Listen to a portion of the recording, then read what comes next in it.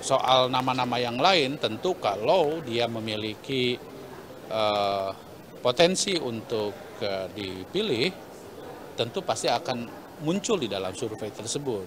Tapi soal berapa misalnya elektabilitasnya, presentasenya tentu kita tidak boleh mendahului hasil survei. Kita bisa lihat dari uh, hasil akhir dari survei tersebut.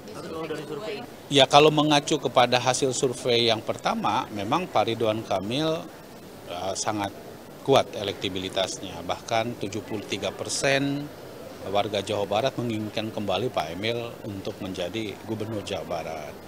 Nah tentu kita harus uji kembali di dalam survei yang kedua, termasuk di antaranya Kang Emil pun juga dipasangkan dengan figur-figur yang dinilai bisa menambah elektabilitasnya Pak Ridwan Kamil.